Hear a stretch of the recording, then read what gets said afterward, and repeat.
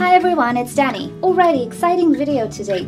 We get the chance to take a look at some orchid products and try them out with some orchids. And if you didn't already recognize the iconic shape of these products, they are Orchitop products and they're quite unique in their design and their functions. Now I've known them for about two years now and I was pretty impressed and intrigued. You might know that in my care, my orchid care, I do provide a lot of ventilation inside the pot. I think this is really important for epiphyte orchids as orchid roots really need a lot of air. This can also keep you safe from root rot. For this reason, I actually customize my plastic pots wherever I can. But with these pots, it is absolutely unnecessary to provide extra ventilation holes. They already have a lot of aeration through their design. So this is why I am actually very excited to try them out. So Orchitop, thank you so much for sending me these pots. I have to say they're quite lovely. I didn't realize that they could be so cute in person.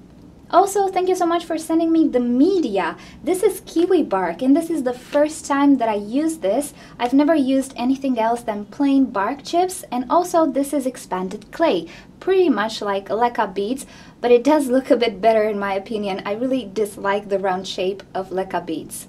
Okay, let's start by talking a little bit about the products and then we'll go on to repot an orchid in one of these pots. So the material these pots are made of is safe polycarbonate, food safe, so it's not toxic for your orchids or for yourself. Also, the dye they used is again food dye, so it is not toxic. Now, these pots come in three sizes. This is the small size and it has a diameter of 10 centimeters. This is the medium size and it has a diameter of 13 centimeters. And this is the largest size. It has a diameter of 18 centimeters. As you might have noticed, these pots already come with a tray, a sort of a dish, but luckily the dish is removable. Also, if you can notice, the dish has sort of a raised ring, so this means that your orchid will not sit with its roots in water, actually. Now, this particular pot has some hooks on the top. This is because you can actually hang this pot if you'd like to. And they also provide you with some hangers, which look pretty, pretty cute. All you need to do is find a hook and then install them on top of these hooks and you're ready to go. Now, because the tray is removable, you have the option to either soak the orchid or just water it from above as needed. Now I'll add a link in the description of this video below where you can check out the Orchitop store and you can see all the products available. Practically you can find these pots in various colors. You can also find them in clear plastic like this one or in white. Now as a bonus, I've also been sent a sort of a fertilizer. I think I'm gonna try this as a foliar fertilizer because I've never tried it. Either way, it is a small quantity for the amount of orchids that I have. So the orchid which will be potted in one of these pots will also receive this fertilizer as foliar feeding.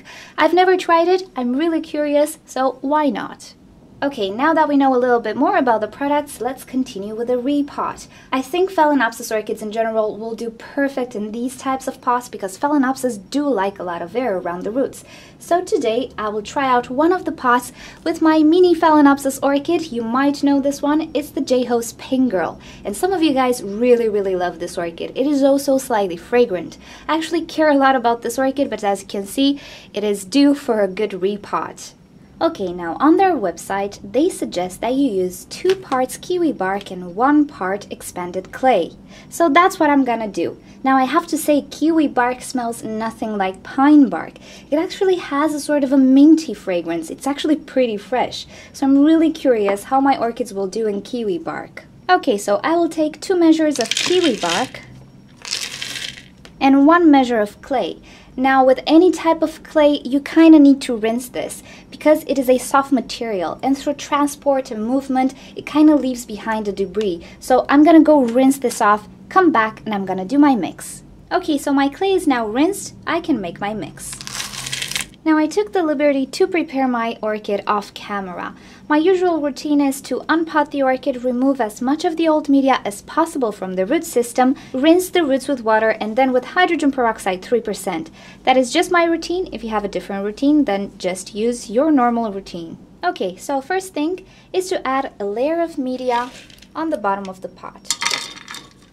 Then I'm gonna place my orchid inside the pot, trying to center it. and trying to arrange the roots inside the pot. All that's left now is to add media around the roots.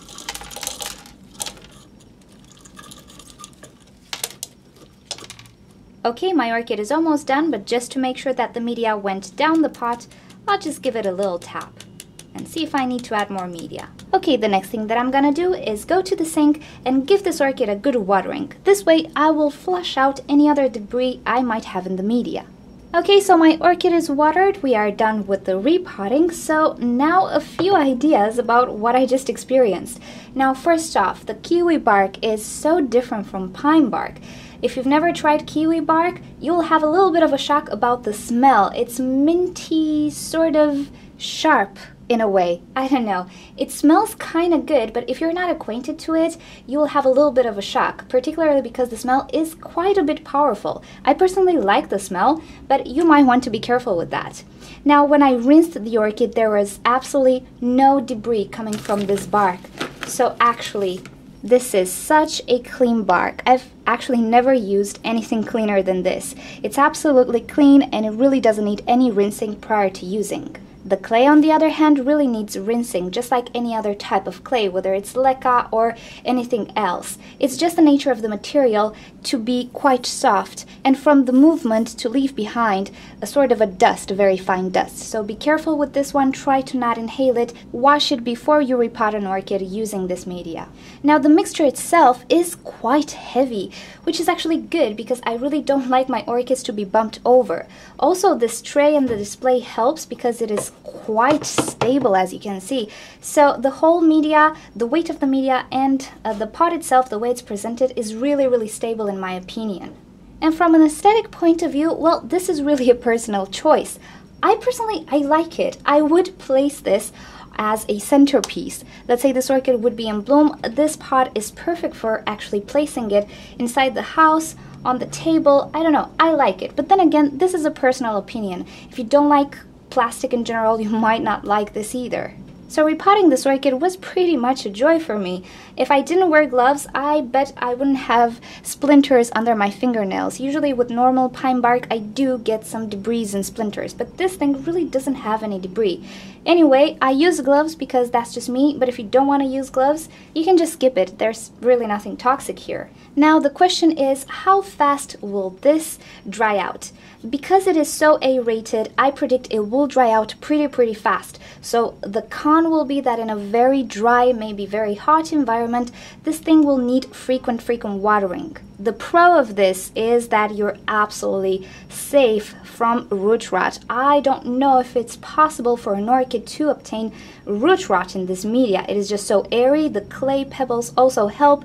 The pot itself, you cannot really get more airy than this and also it really doesn't sit in water as you can see. Whatever water is left is stuck on the tray but it does not touch the bottom of the pot. The important thing to keep in mind is that this pot is really, really airy. So if you have an orchid that likes to stay constantly moist, maybe this will not be a very good idea. Depends how often you will water it, depends on your environment. But for orchids like Phalaenopsis, I dare say Cattleyas, and I will have another experiment with a sort of a vandaceous orchid, I think they are absolutely great. And I think the roots that will come out through the grills will be absolutely no problem. When it's time to repot this orchid, because it does not have a rim on top, you can just pull it out and the roots will be fine. So practically I don't think you will damage any roots. As opposed to planting an orchid in a completely clay pot, this has the benefit of being plastic, so the roots will not attach super strong to it. And also you can pull it on the top and the roots should be just fine. Now it's just a matter of time to see how this orchid will like it in the Orchitop and in the media, so I'll definitely keep you updated with the evolution. I am a bit excited to be honest because it just looks really really pretty to my eyes. I also like the fact that it's heavy so I'm not gonna bump over it. I have a major issue with brushing against my orchids and bumping them over so I am excited. If this is something you would like to have then I will link down below to the store. You can see the whole variety, you can see the prices, you can actually buy. They are based in Germany so if you are from Europe it's gonna be really easy. If you are from the USA on the other hand just send them an email and ask how you can get this, ask for fees and uh, so on. Now in the following days I will make another repotting using the Orchitop pots because I think it's gonna be really cool. I'm gonna pot a sort of a Vandaceous orchid in something like this.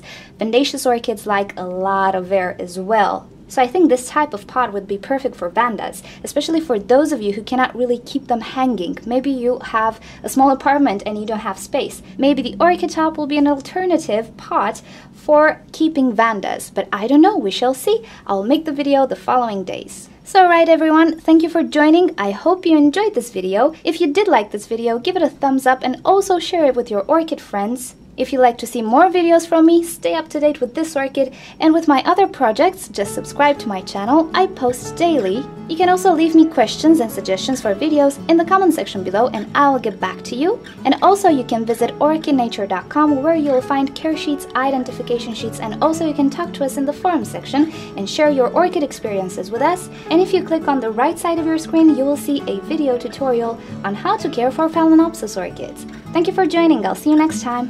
Bye!